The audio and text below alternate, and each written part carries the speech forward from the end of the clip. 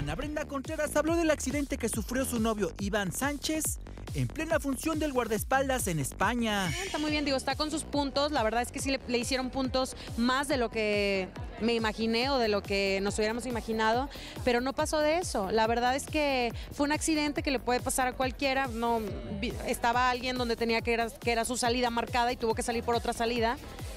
Por salir por otra salida. Tuvo que salir por otra pierna y pues había ahí algo y se raspó.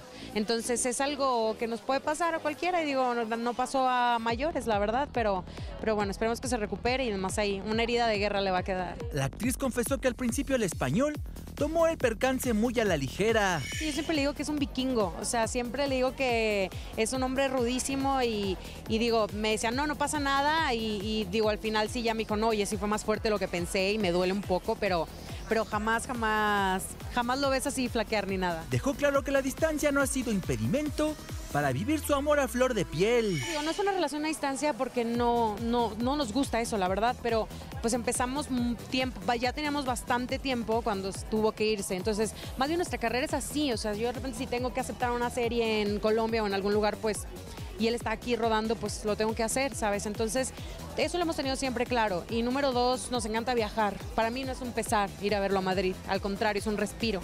Y para él igual. Ana Brenda fue una de las invitadas a un evento que organizó una marca joyera. Otra que desfiló por la alfombra rosa del lugar fue Claudia Álvarez, quien aseguró que existen planes de trabajar con su esposo, Billy Robsar. Pero yo llevo seis años con él y no hemos trabajado juntos. Morimos por trabajar juntos, morimos. Yo ahorita estoy en negociaciones para una peli que quiero hacer. Es una peli francesa que se hizo hace un par de años, muchos.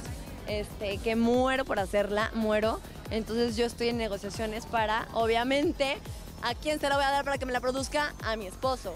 Yo soy Héctor Vargas, continúa en Sale el Sol.